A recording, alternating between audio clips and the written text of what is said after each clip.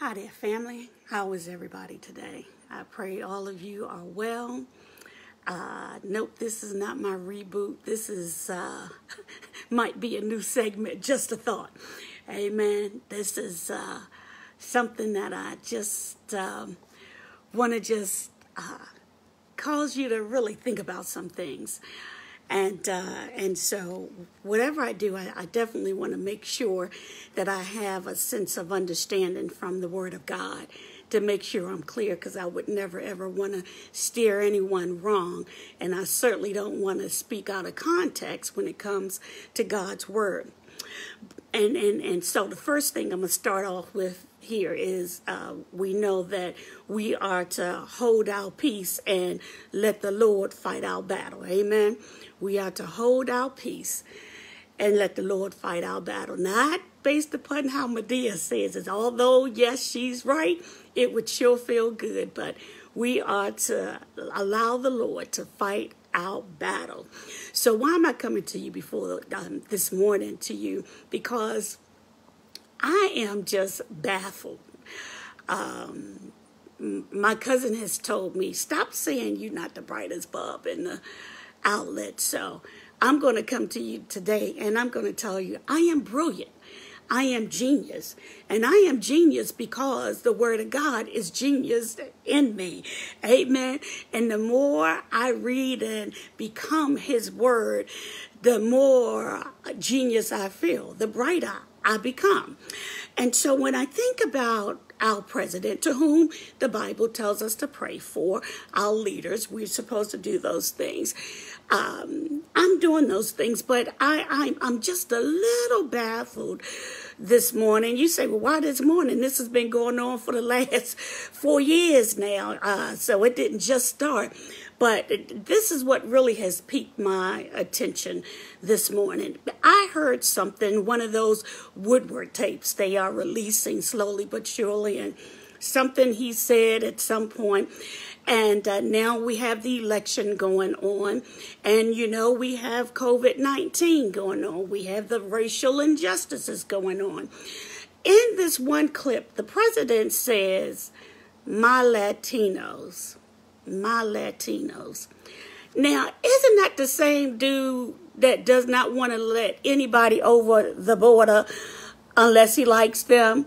And the idea now that he's going to take ownership of this population or this group of people, uh, it doesn't matter if, if it's Hispanics, Mexicans, Indians, black, whatever you are, he has no need of you unless you can do something for him. So I would beg us all to really take a deep dive into what's happening here. That the president has a need. And be it he is going to fulfill what he said he's going to do or not, let the record show you the truth the record will bear interest even right now as many people begin to lose their businesses and their homes because they can't pay their rent or their mortgage or even worse can't feed their children nor themselves. Does he really care about anybody that does not have stocks and bonds and big bank accounts and all that type of stuff and and you be the judge. Again, just a thought. Then he said something about the scientists. He said that he doesn't believe in the scientists. They don't know what they're talking about. But isn't this the same dude that says, oh, by October, by November, before the year is out, oh, we're going to have vaccines. We're going to be able to do this. We're going to be able to do that. But it's some of those same scientists that are creating this vaccine because of what? Their understanding, excuse me, in science. So you either believe in science or you don't.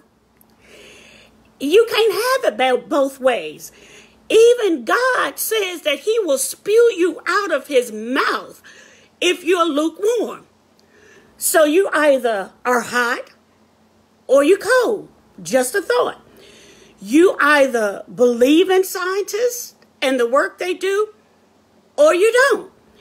You can't have it both ways, Mr. President, because it's those very scientists that God has given the insight, the knowledge, and understanding to do the things that they do.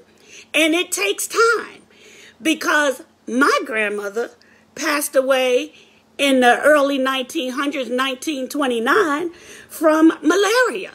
They didn't have a drug or a vaccine for that at the time, nor treatment.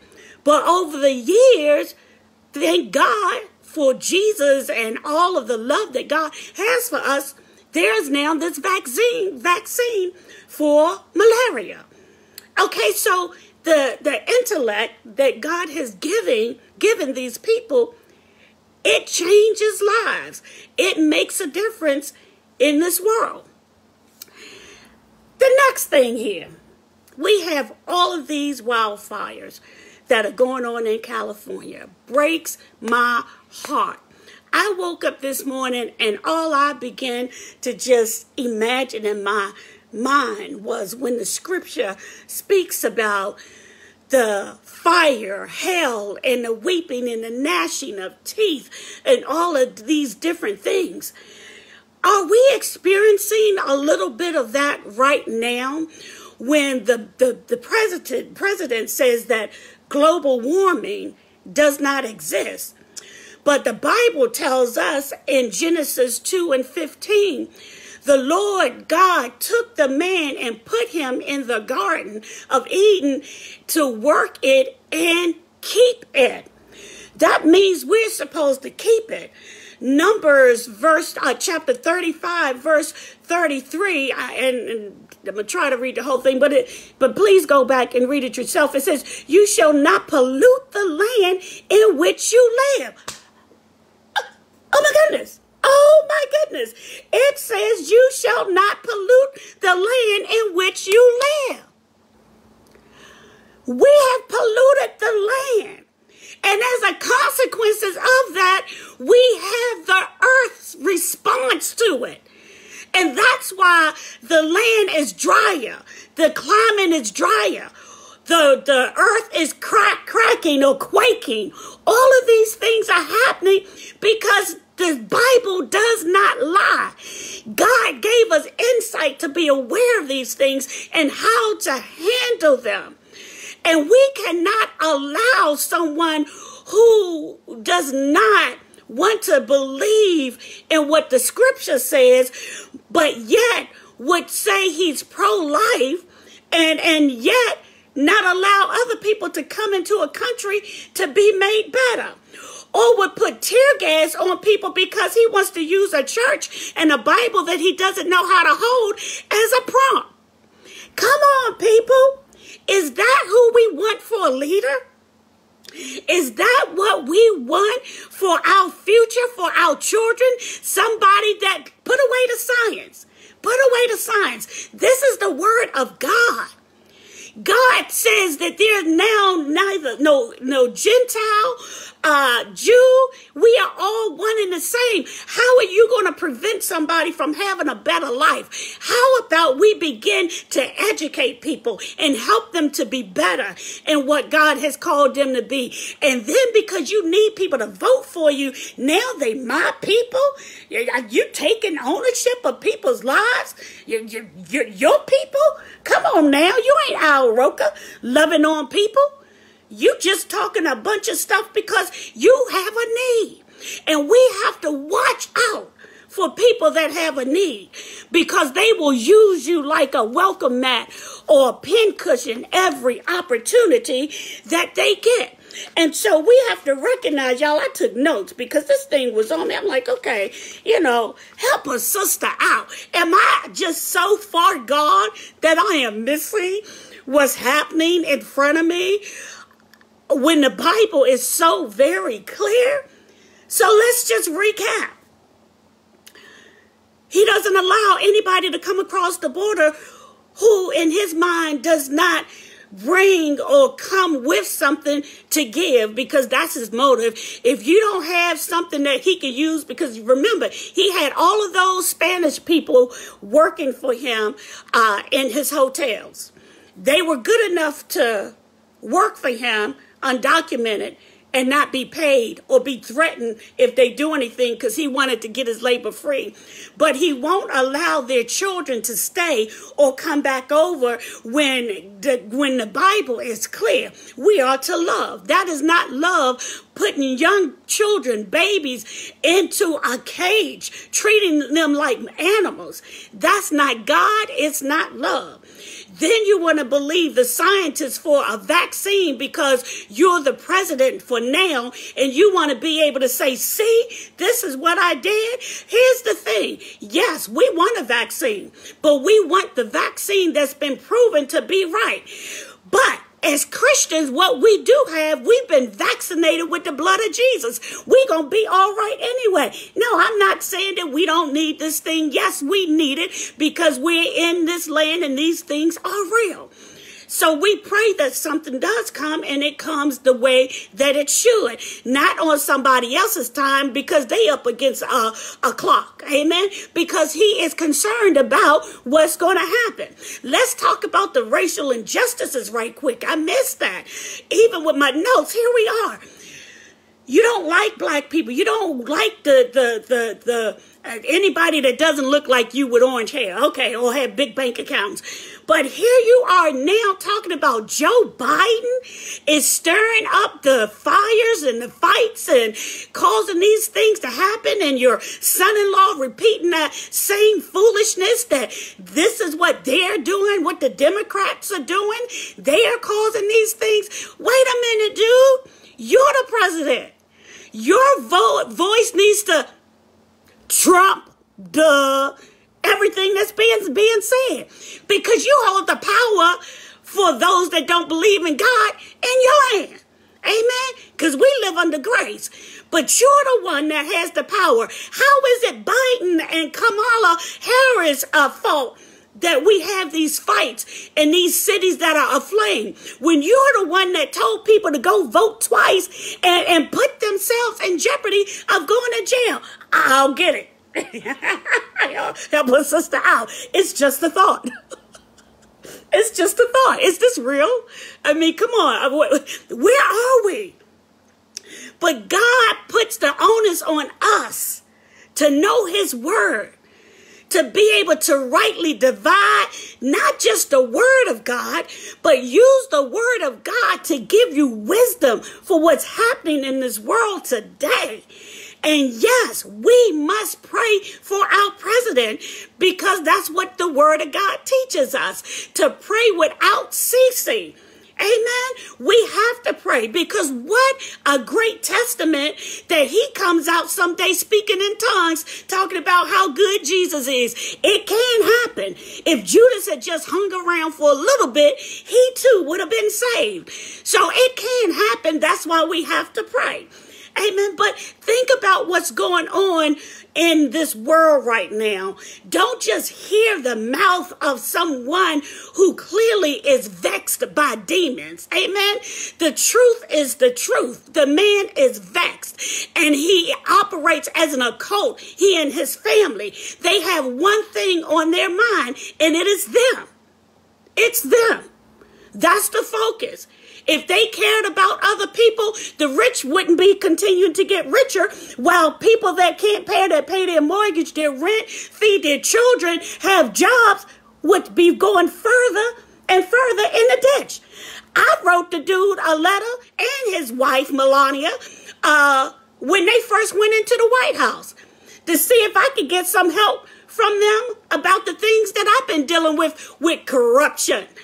But was my expectation really there that he would do something? I was willing to get a brother a chance. Let's see what he's going to do. Is he really going to be for everybody? Or is he only going to be for the rich, the wealthy, and those that look like him? That's who he is.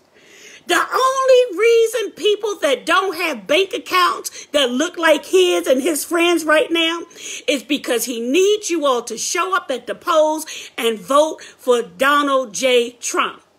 But the devil is a lie because we're going to go to the polls with not just what this man has shown us that that he's for and what he's willing to do at the cost of your lives. This is a man who has said he downplayed a disease that many of our people and friends and family have either died from, have been sickened by. All of us know somebody that has died or been sick by this thing, and yet he wants you to go vote for him. And he has his people come up and say, and even himself, I wasn't downplaying it. And then you get on another thing, yeah, I was downplaying. Well, I'm not going to panic and this and that. What do you mean? People's lives are being lost. Family, please wake up. And we never ever honor the fight that our ancestors went through to get us a vote. We need to honor it in November or right now because voting has already started. We have got to honor it. And listen, I'm here in North Carolina. Do not drop your your your voting uh, thing in your mailbox.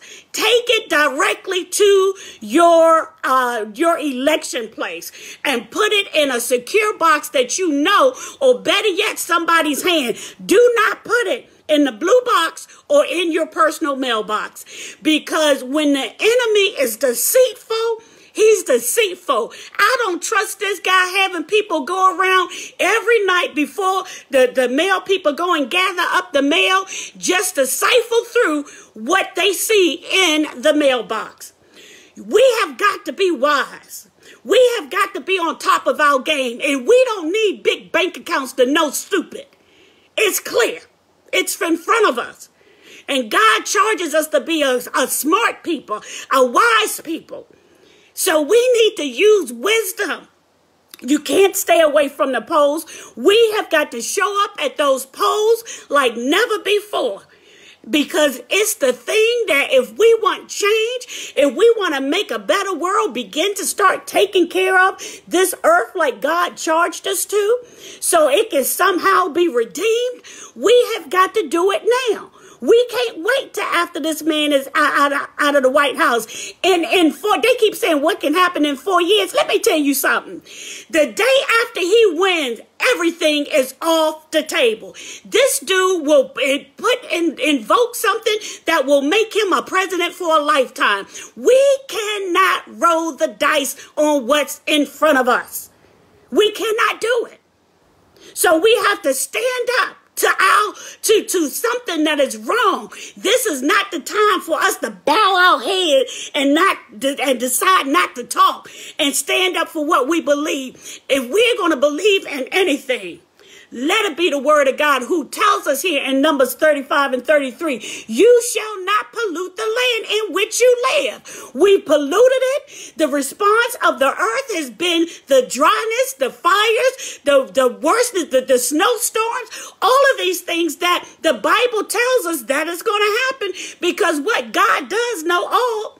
And so here these things happening as the scriptures have told us because we have not done our part to take care of the earth. And I'm going to go back to my message from Sunday before last. When I talk to you all about clean, get your house in order, it's the same thing. This is not the time to wait to get your spiritual house in order. Folks are literally dying by the second, and it doesn't have to be COVID 19 that takes you out of here. Think of our brother, uh, um, Chad, Chadwick Boseman. Here he is gone, a true superhero in his own right. I, amen. Not just acting a character, but this young man gone away from here. We don't know if we're going to walk out in the street, get hit by a car, and not survive. Or be struck by a bullet in your home. We don't know. But we must get our house in order. And at the same time that we're getting our spiritual house in order for whatever happens, the word of God teaches us to keep our, our earth clean. Don't. Do things that's going to make this world be worse. And we leave that with our children and grandchildren and great grandchildren. No, we must do better. Don't elect officials that are not for everybody. Joe Biden said, it doesn't matter what they say about me. He says, because when I become president, I will still be their president to fight for them as well. He recognizes that it's not about a certain group of people. If you are president, you fight for everybody. You try to do what's going to make sense for the world, inclusively, the world. Amen. You don't go out making big deals and have your son-in-law get on the, the, the TV shows and talk about these good deeds that they've done across the world, across the globe. The Bible says, take care home first. We have people dying, starving, no homes. We're in a mess. And they're bragging because they have gotten some peace deals together with people that you know, chances are, because you got to know who the deal maker is, as he calls himself. Everything is about him. So, what really is in these deals? We will never know. But we have to do something now. We cannot afford to wait. We don't want to keep hearing that Joe Biden is causing these fights in the cities to burn. Joe Biden has just begun to have a voice as the one that's been elected as the uh, next president. But Donald Trump, for the last four years, has been stirring up strife and mistreating people that do not look like him or serve his purpose, even if the bank account is good. These people that have worked a lifetime to give sacrifices to the United States, he has caused them to walk away from their pensions, all of what they would have for their families, because he didn't like that they weren't just working for him, but they were working for everybody.